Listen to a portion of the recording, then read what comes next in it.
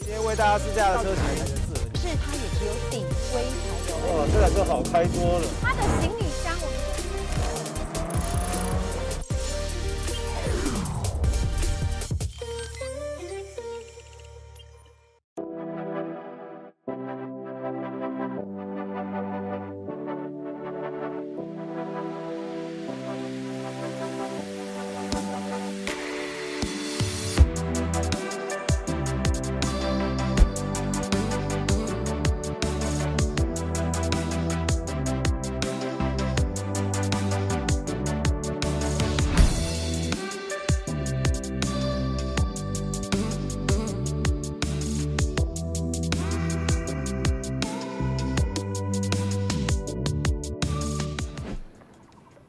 汽车市场啊，每个品牌啊，当大家可能在比核桃木的时候，Volvo 可能已经在研发很多安全配备了。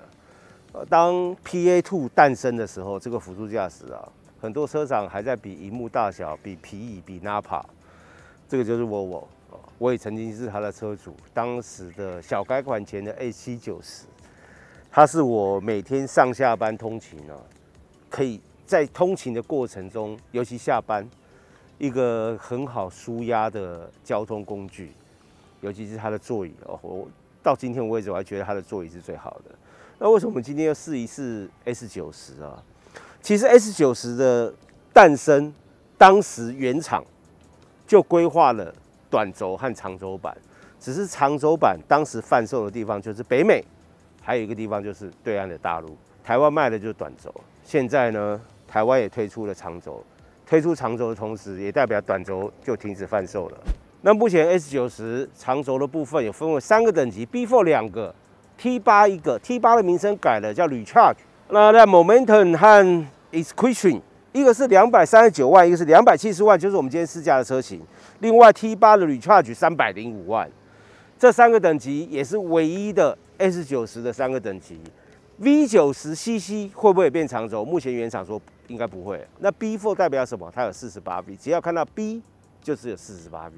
那我们今天试驾就是算是一个全新的车型啊，因为它的轴距和车长完全做改变了，而且不是像其他车厂就是把后尾变得比较长一点拉长，然后轴距没变，它是一个本来就是已经开发了长轴车型的 S90。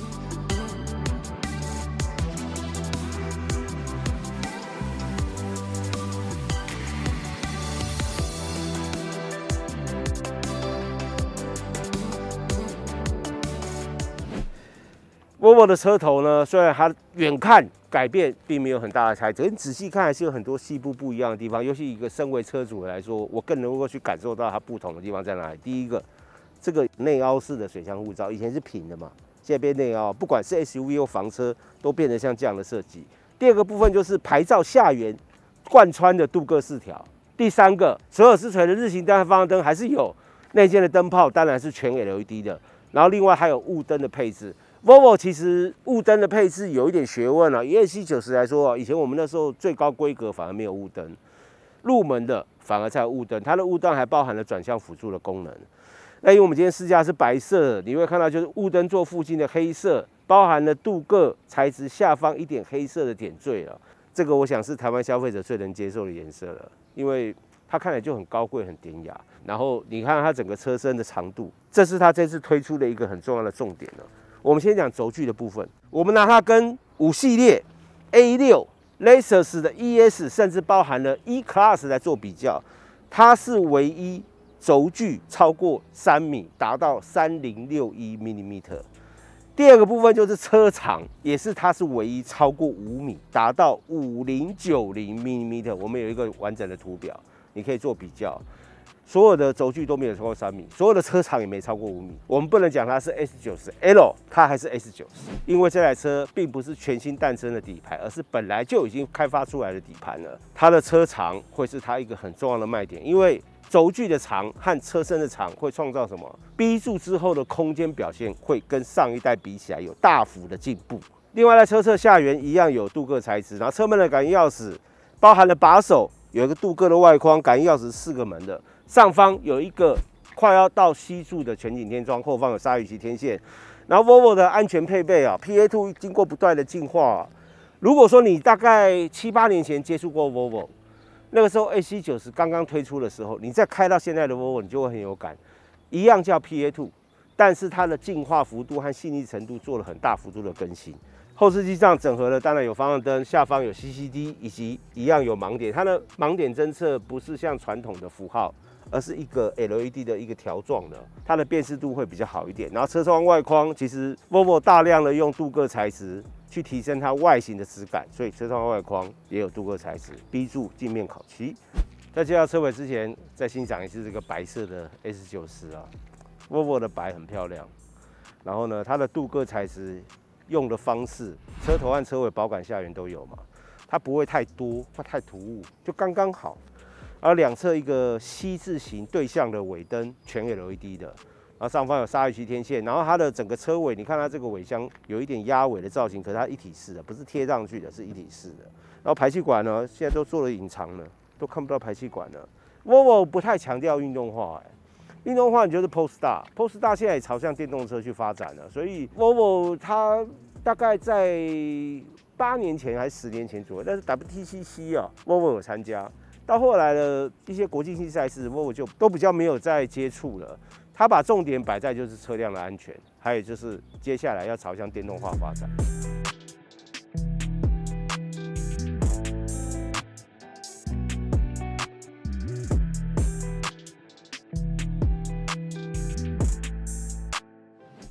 来介绍它的动力规格，它一样跟其他 Volvo 车系同步的升级了，变成是搭载了微型油电 48V，所以叫 B4。目前 B4 有两个等级，T8 Recharge 有一个等级，所以总共是三个等级。我们试驾的是 B4 的最高等级，它的排气量1969 CC，最大马力197匹，在马达辅助的部分可以增加14匹，扭力的表现30.6公斤米。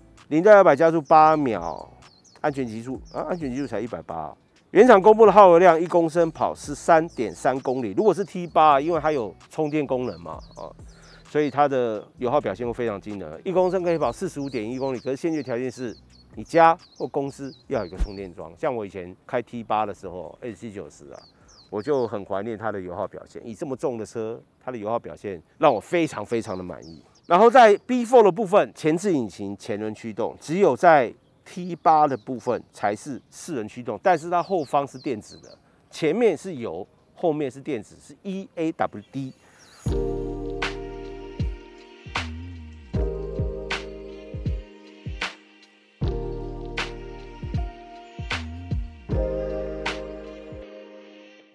接着我们介绍它的尾箱空间呢，在 Volvo 这个字样。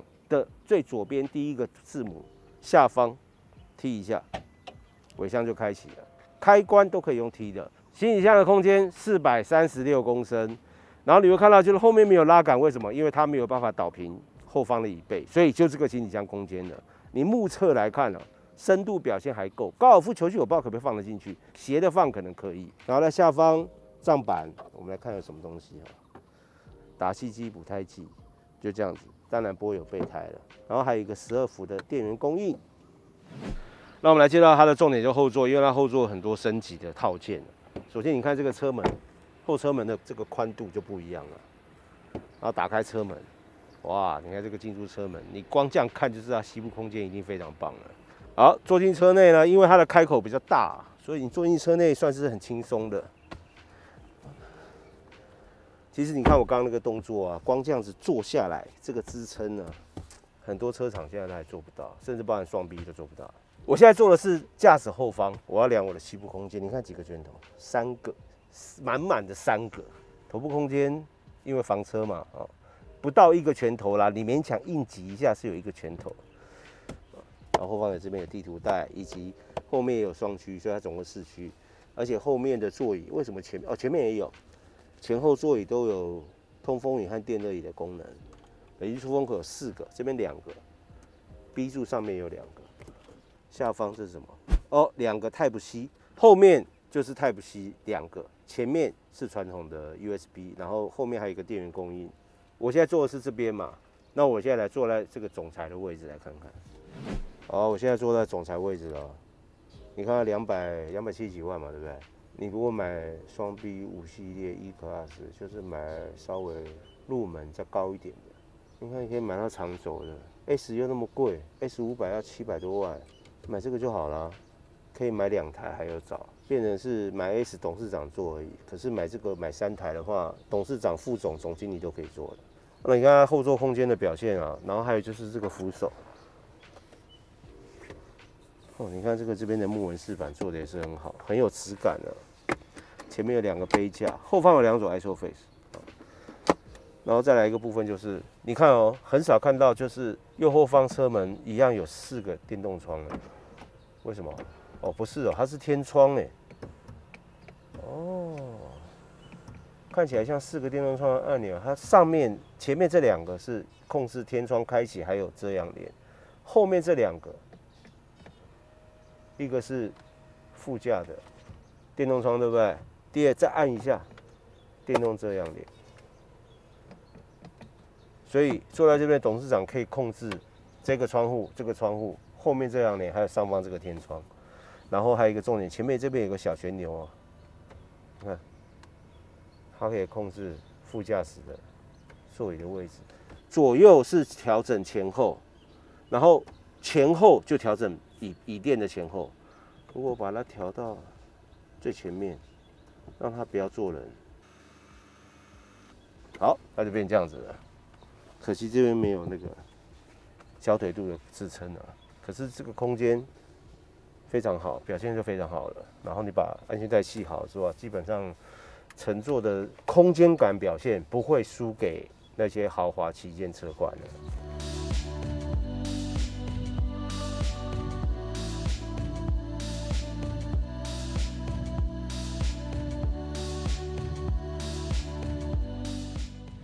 我们介绍内装啊，有引擎已经启动了，但是它引擎启动里，我们上次有讲过，就是新时代的 Volvo 都变成只有右边启动和关闭都要右边，比较旧一点的是左边关右边开，好像我记得是这样子。然后再来一个部分就是，我终于又坐到这张椅子了，这个在座椅椅背两侧这个瑞典小国旗的椅子。如果你要选到按摩椅，现在好像 S 九十不能选，也没有标配哦，那你只要旁边这个旋钮啊，就座椅旁边这个旋钮一一转，就看到它现在目前就是只有腰靠。还有背部蝴蝶翼夹紧以及大腿延伸，它是电动的。我们今天试的这台车，它都是标配啊，包含了门板上面你看到有哈曼嘎的。我那时候非常怀念那个按摩椅，加上你不要小看这个椅子哦，它没有很厚，看似单薄的座椅，但是坐起来的舒压效果，大概目前是完胜所有竞争对手的。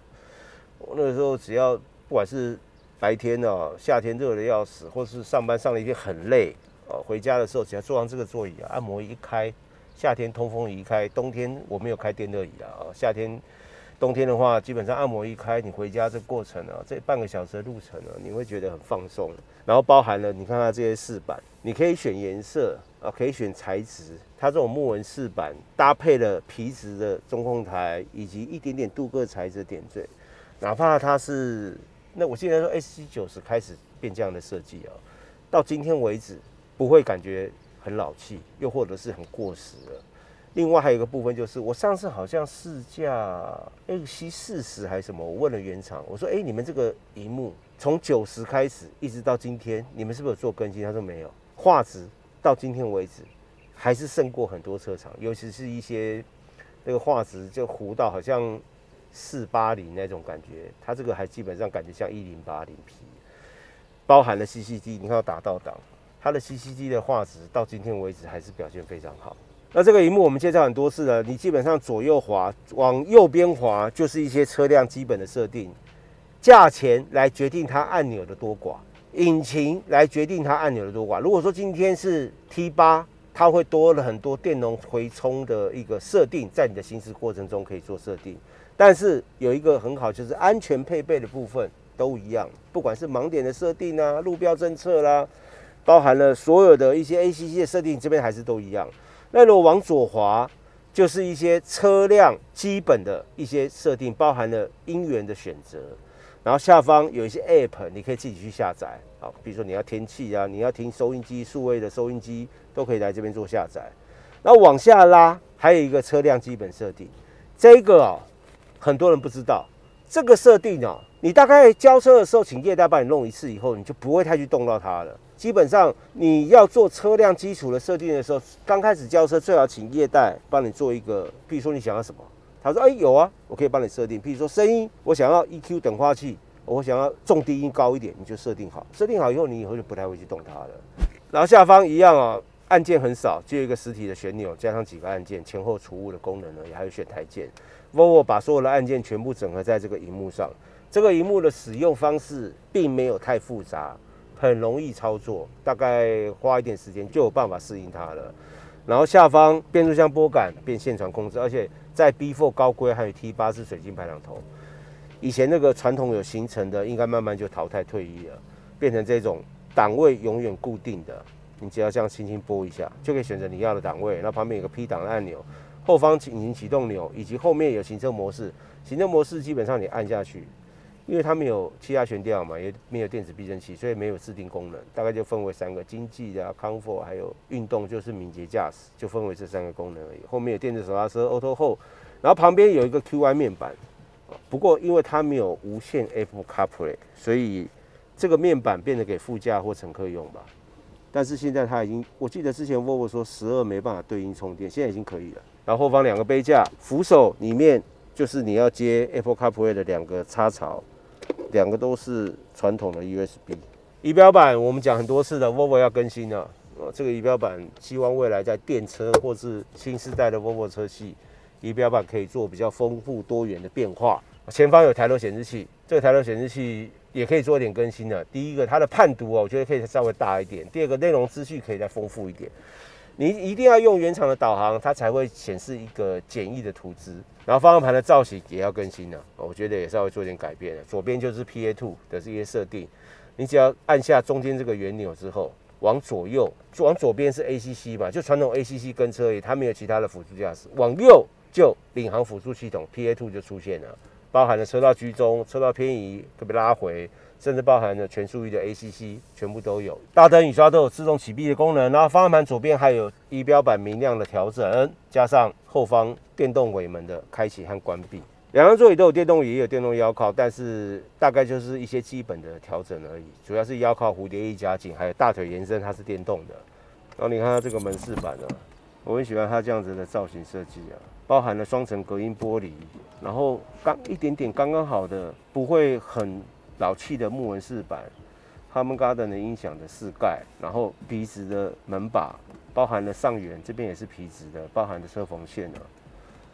然后你看它开关门的声音，这个扎实度表现非常好。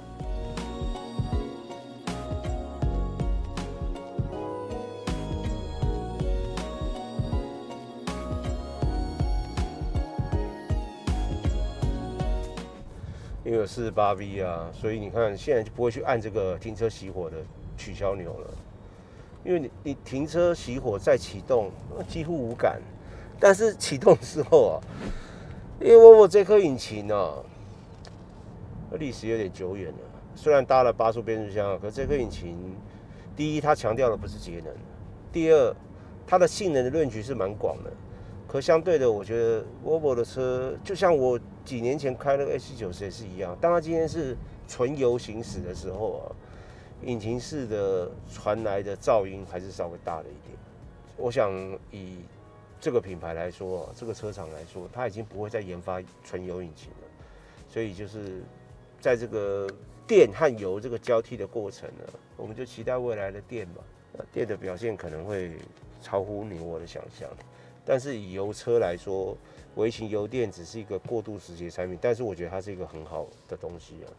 它可以让，尤其在台湾走走停停的路况呢，可以大幅增加你的质感，包含了停车的时候冷气还是冷的，对，冷气还是冷的。然后启动，你看再发动，你完全没有抖动了。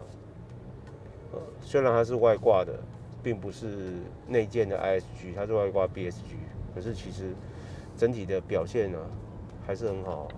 它的引擎噪音大概就在低速了，大概二十到五十公里这个区域。上了高速公路之后，除了可以好好的享受它的 PA2 之外，第二个部分就是它的高速公路引擎的泥泞度表现就比较好一点了。Volvo 这个车子它的特性很明显，不管是我们今天试驾 S 九十，甚至包含之前我们试了很多 Volvo 的车子啊，它就是在整个行路质感来说就是很乖、很规矩，因为它大部分如果你没有电的辅助的情况下，它几乎都是前置前驱。这个前置前驱和大部分的车辆设定是差不多的。那它开起来的，就是那种易上手的程度，会比前置后驱的要来得好。当然，现在很多前置后驱啊，慢慢改成前置四驱啊、四传啊，尤其性能车慢慢改成四传了。但是以 v o v o 来说，因为它后方的悬吊的设定呢，不会让你觉得就是前面很重，后面很轻。这个会在几个地方，第一个，直路行驶的时候过坑洞，很多人可能会发现，就是譬如说你买很多日系车啊、房车啊，前面因为重，你过一个坑洞，在前悬吊的处理你是满意的。但是到了后悬吊处理，你就觉得它的弹跳哇，或是它那个震动加上噪音就很剧烈、很明显。Volvo 不会，因为车体组装品质好，这个是很多人我相信会选择 Volvo 的原因。一直到今天为止啊，Volvo 在台湾的市占率一直保持一个很好的水平啊，就是因为曾经拥有过这个品牌的消费者，他会推荐给他朋友，或者是他再购一台又是这个品牌的车子。你今天要我选的话，如果我未来有一些新时代的电车或是一个其他的新科技的东西，要我选择，我也会选的。我这几年有这么多车长期试驾或是购买的，我到今天为止还是觉得我我，你看我现在坐在这个椅子上，通风一打开，因为夏天嘛，虽然现在有点在下雨，但是夏天通风一打开，也虽然没有按摩椅，可是整个开起来就是很舒服、很轻松的。它不会像有的车开起来就是你要跟车去抗争啊，或是你要去花比较多的力气和心思去操控一辆车，因为它比较有个性。没个性的车大家好上手，有个性的车你需要有点驾驶技巧，你才能够去操控它、去驾驭它。最后就是 PA Two，我记得那个时候很早期啊，我还没有拥有过 Volvo 我试的时候，我说你们那个 ACC 在启动、在刹车和加油的过程，为什么这边有个保险丝盒的那个哒哒哒哒哒的声音啊？他说那是启，那是因为那个 PA 启动的关系，现在没了。然后 PA Two 呢，和多年前我试驾的 Volvo 比起来，它的跟车、油门和刹车这两个的控制更人性，没有像以前就是前面车一走它就全油门。我如果设定一百，前面车六十，六十一走开，它马上一百的时候，六十到一百是给你全油门。现在没有了。全部都改善了，所以原厂一直不断的更新，用现有的硬体，靠软体去做改变，到今天为止，它的成熟度会更好。不知道以后会有 PA 三呢？呃，PA 三、PA four、P、PA two 应该就 Level two 的意思啊，以后可能是直接 PA four 吧，可能没有三的，直接跳过三变成 four 了。那汽车科技一直不断的进步，辅助驾驶越来越进步。五年前这些东西都还没有，五年后现在大家都普及，连台湾制造的车都有了。那五年前。纯电车选择非常少，五年后越来越多。也许在下一个五年，我们会看到马路上的纯电车的比例会越来越高，而且辅助驾驶的普及率也越来越高。这样子会带来第一个排气管废气少排一点，第二个部分就是因为辅助驾驶越来越先进，加上公共建设设施做得越好的情况下，可以搭配这些辅助驾驶，也可以减少马路上一些车祸伤亡的一些事故的发生。